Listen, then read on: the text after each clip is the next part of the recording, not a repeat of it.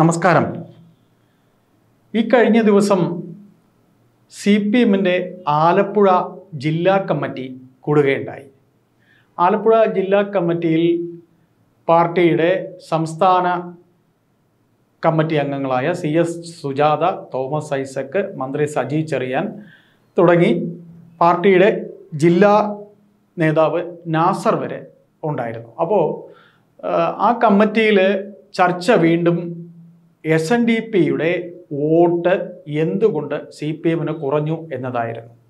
എന്നാൽ ഇത്തരത്തിൽ വോട്ട് കുറഞ്ഞതിന്റെ കാരണങ്ങളിലേക്ക് ചർച്ച പോകുന്ന അവസരത്തിൽ തോമസ് ഐസക്ക് പാർട്ടിയുടെ C C member Thomas Isaac പറയുകയുണ്ടായി നിങ്ങൾ വെറുതെ വെള്ളാപ്പള്ളിയുടെയും എസ് എൻ ഡി പിയുടെയും ചുമലിലേക്ക് കയറണ്ട. അതായത് നിങ്ങൾ കുതിര കയറണ്ട. നിങ്ങൾക്ക് വോട്ട് കുറഞ്ഞതിന്റെ കാരണം അതല്ല.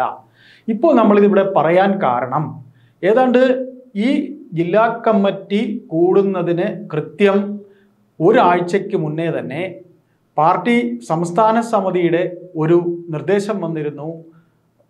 പാർട്ടി അംഗങ്ങൾ എസ് എൻ ഡി പി യോഗത്തിൽ കൂടുതൽ ആക്റ്റീവ് ആവണം എസ് എൻ ഡി പി യോഗങ്ങളിൽ പ്രവർത്തിക്കണം എന്ന് പറഞ്ഞുകൊണ്ട് ഗോവിന്ദം മാഷിന്റെ പാർട്ടിയുടെ ഒരു നിർദ്ദേശം ഗോവിന്ദം മാഷ് വഴി പുറത്തു വന്നിരുന്നു. അന്ന് ക്രൈം ന്യൂസിന്റെ ചർച്ചയിൽ രതീഷ് ചക്രവാണി ഈ കാര്യത്തിനെ കുറിച്ച് നമുക്ക് നമ്മളോട് നമ്മുടെ ക്രൈം ന്യൂസിന്റെ സ്റ്റുഡിയോയിൽ നമ്മുടെ ചർച്ചയിൽ അദ്ദേഹം പറഞ്ഞു. അദ്ദേഹം പറഞ്ഞത് വളരെ ശരിയായി വന്നിരിക്കുന്നു. അതായത് പാർട്ടിയുടെ സംസ്ഥാന സമിതി അംഗങ്ങൾ ഇരിക്കവേ സംസ്ഥാന കമ്മിറ്റിയുടെ ഒരു തീരുമാനത്തിനെ വളരെ വളരെ വളരെ എതിർത്തുകൊണ്ട് ജില്ലാ കമ്മിറ്റി അംഗങ്ങൾ പറഞ്ഞിരിക്കുന്നു നിങ്ങൾ ഒരിക്കലും എസ് എൻ ഡി പിയുടെയും വെള്ളാപ്പള്ളിയുടെയും ചുമലിലേക്ക് കയറണ്ട എന്ന്. ഈ പറഞ്ഞ കാര്യം തന്നെയാണ് രതീഷ് ചക്രവാണി നമ്മുടെ ചർച്ചയിൽ ക്രൈം ന്യൂസിലെ ചർച്ചയിൽ ഏഴ് ദിവസം മുന്നേ നമ്മളോട് സംസാരിച്ചത്. എന്തായാലും ആ ചർച്ചയിൽ നിന്നും ചില പ്രസക്ത ഭാഗങ്ങൾ നമുക്ക്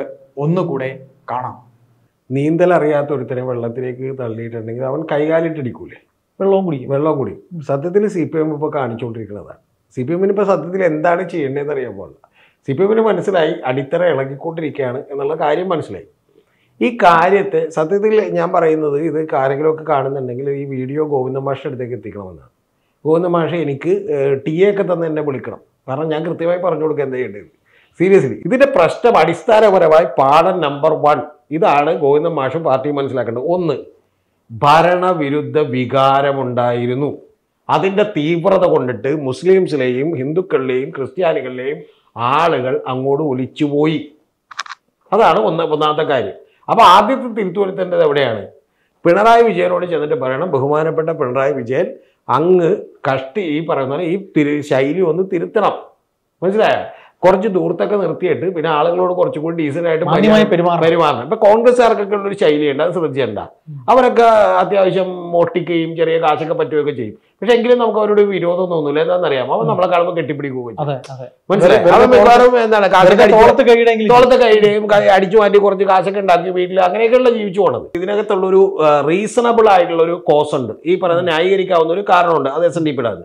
അതെന്തുകൊണ്ടാണെന്ന് വെച്ചിട്ടുണ്ടെങ്കിൽ എസ് ഏറ്റവും വലിയ കേരളത്തിലെ ഹിന്ദു പാർട്ടി ഏതാണ് എന്ന് ചോദിച്ചിട്ടുണ്ടെങ്കിൽ അത് ഉറപ്പായിട്ടും ആരായിരുന്നു ഈ പറയുന്ന സി പി എം ആയിരുന്നു ആ സി പി എമ്മിൽ. സി പി എമ്മിൽ തന്നെ ഈഴവരും തീയരും പിന്നോക്ക വിഭാഗങ്ങളുമാണ് കൂടുതലായിട്ട് ഉണ്ടായിരുന്നത് നായർ മുതലുള്ള ആളുകൾ ശരിക്കും പറഞ്ഞിട്ടുണ്ടെങ്കിൽ കോൺഗ്രസിലെ.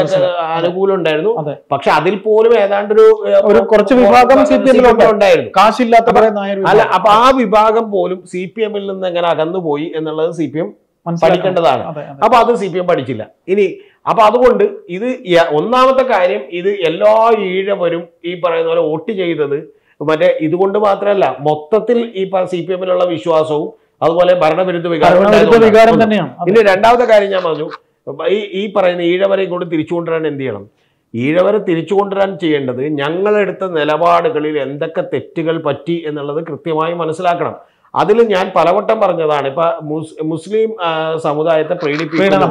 അകാരണമായി പ്രീണിപ്പിക്കുന്നു എന്നുള്ള കാരണം മുതൽ നേരത്തെ കേരം തിങ്ങും കേരള നാട്ടിൽ കെ ആർ ഗൗരി ഭരിച്ചിടും എന്ന് പറഞ്ഞ് വിളിച്ചത് മുതൽ ഇങ്ങോട്ട് പല ഈഴവ മുഖ്യമന്ത്രിമാരോടും ഇവർ കാണിച്ചിട്ടുള്ള സമീപനമടക്കം ഇത് ഗ്രാജ്വലി കുറഞ്ഞു വന്നതാണ്. ഇതിന് പരിഹരിക്കാനുള്ള മാർഗം എന്താണ് എന്ന് ചോദിച്ചാൽ എനിക്ക് പറ്റിയ തെറ്റുകൾ ഞാൻ തിരുത്തുക എന്നുള്ളതാണ്. സ്വയം. പരീക്ഷയിൽ ഞാൻ തോറ്റു. അപ്പൊ ടീച്ചറെ മാറ്റിയേക്കാം എന്ന് വിചാരിക്കുന്നത് സി പി എമ്മിന്റെ ഇപ്പോഴത്തെ രീതിയാണ്. ഇവിടെ ഉള്ളതെല്ലാം ജനങ്ങളാണെന്നും അവരുടെ അടിസ്ഥാനപരമായ പ്രശ്നങ്ങൾക്ക് പരിഹാരം കാണണമെന്നും അവർക്ക് സാമൂഹിക ക്ഷേമ പെൻഷൻ കൊടുക്കണമെന്നും ഇനി കൊടുത്തില്ലെങ്കിലും കുഴപ്പമില്ല. കൊടുത്തിട്ടില്ല എന്ന് പറഞ്ഞ് പ്രതിഷേധിക്കാൻ വരുന്ന മറിയക്കുട്ടിയുടെ മകൾ അതായത് അടിമാലിയിൽ ലോട്ടറി വെക്കുന്ന മകൾ മറ്റേ ഇംഗ്ലണ്ടിലാണെന്ന് പറഞ്ഞ് വാർത്ത എഴുതുന്ന പൊഞ്ഞാണന്മാരുണ്ടല്ലോ. ആ പൊഞ്ഞാണന്മാരെയൊക്കെ വിളിച്ചിട്ട് എന്ത് ചെയ്യണം? അടിച്ചു തീന്ന് പുറത്താക്കണം. ഞാൻ നശിക്കണമെങ്കിലുള്ള ഏറ്റവും പ്രധാനപ്പെട്ട കാര്യം എന്താണെന്ന് അറിയാമോ? ഞാൻ ചെയ്യുന്ന പൊട്ടത്തരമൊക്കെ കണ്ട് ചുറ്റും കൂടി നിൽക്കുന്നവരൊക്കെ കൂടി കൈയടിച്ചാൽ ഞാൻ ആദ്യം നന്നാകണമെങ്കിൽ ഞാൻ അവരെ അടിച്ചു പുറത്താക്കണം. ബലേഫേഷൻ എന്ന് പറയുന്നത്. ഇവരുദ്ദേശിക്കുന്നത് എസ് എൻ ഡി പിയുടെ ഒരു ഫ്രാക്ഷൻ അകത്ത് സി പി എമ്മിന്റെ അംഗങ്ങൾ ഉണ്ടാവുമല്ലോ. അപ്പൊ സി പി എമ്മിന്റെ അംഗങ്ങളെ കൊണ്ട് എസ് എൻ ഡി പിക്ക് ഒരു സമ്മർദ്ദം കൊടുക്കുക. അപ്പൊ സത്യത്തിൽ വെള്ളാപ്പള്ളി അടച്ചം പോലും ദൈവമേ ഞാൻ ഇനി സി പി എമ്മിനെതിരായിട്ട് പറഞ്ഞാൽ ഇവരൊക്കെ കൂടി വിട്ടുപോകുമോ?